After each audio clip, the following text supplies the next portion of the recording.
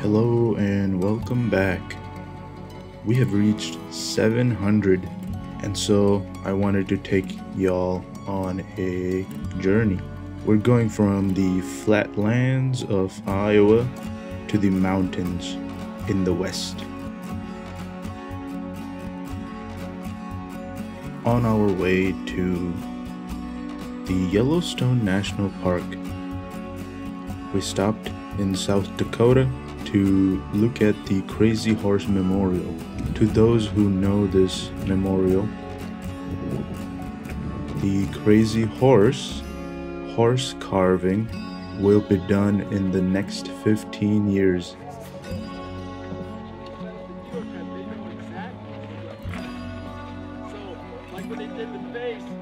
The journey to Yellowstone was surrounded by amazing landscapes of the West.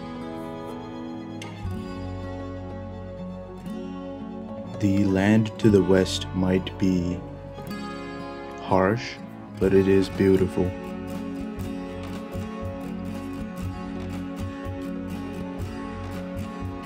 We were finally in Yellowstone, and as soon as I reached the Yellowstone Lake, I wanted to skip some stones.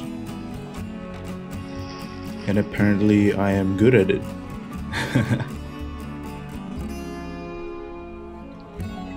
now, for those who don't know the Yellowstone National Park, it is a government protected land, which is basically a super volcano that is active.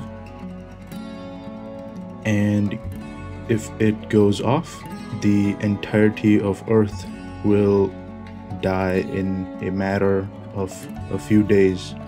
So, being on this land so close to the danger is a very cool experience.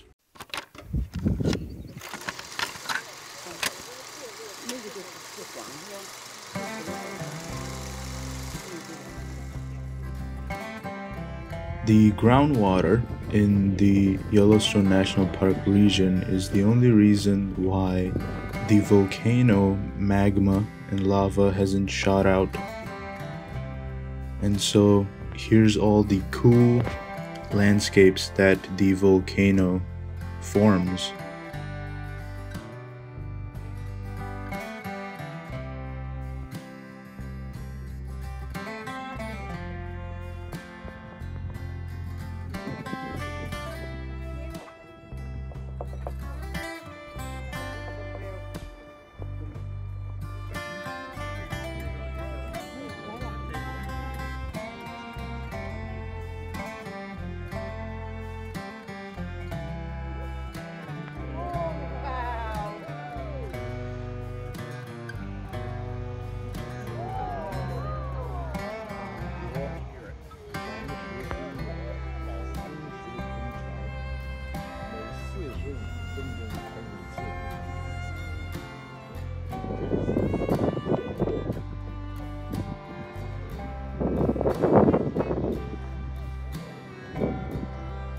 The national park is not only a home for the wonderful landscape, but to a lot of animals.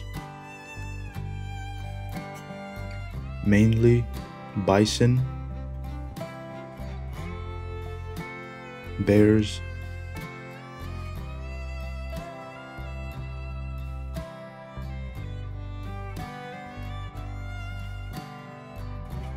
elk, and moose along with some migrating wolves.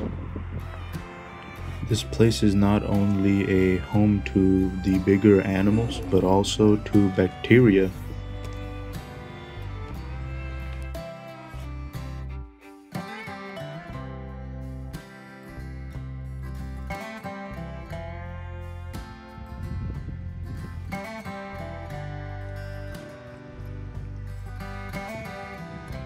after I was done at the Yellowstone National Park, we headed to the Grand Tetons.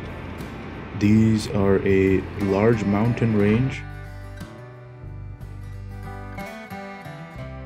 that sits south of the Yellowstone National Park.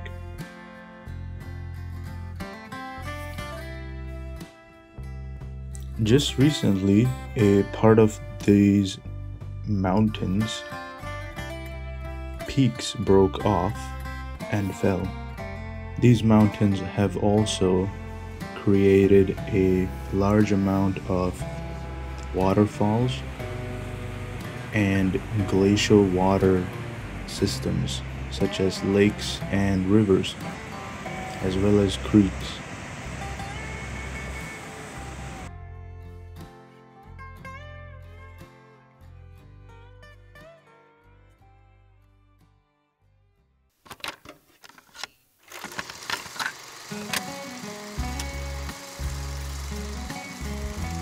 When we were done at the Grand Tetons, we headed to the Devil's Tower.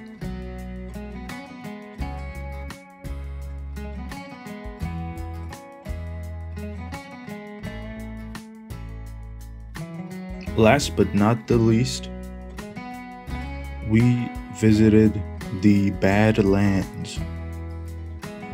I think they were called Badlands because they were being bad and were on the naughty list for Santa Claus.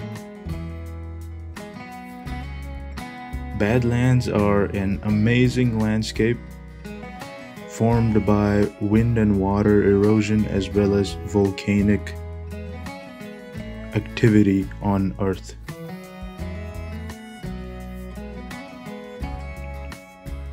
Now, you are probably wondering why I am talking about landscapes and national parks. That is because our first competition is going to be making a landscape diorama. If you haven't taken part in the Discord yet, there is a Discord link down below. You can add yourself to it for our first competition, we are going to create a landscape of our choice. Using this video as an inspiration, it does not have to be any of the materials shown in this video. It can be whatever you want, but it has to be a landscape. The dimensions of your project will not go over 5 by 5 inches. It can be smaller, but it cannot go over 5 by 5. This competition will go for 4 weeks, so people have enough time to catch on. And there will be 3 lucky winners, or I should say, ranked winners we will have a good old voting system where you all will vote the first place, second place, and third place, and these three people will win the three minis for free. So, if you have just watched this video and want to join, you can still join the Discord. It is in the description down below. As always, thank you for watching. Thank you for 700. And I will see you guys in the next one. Bye bye.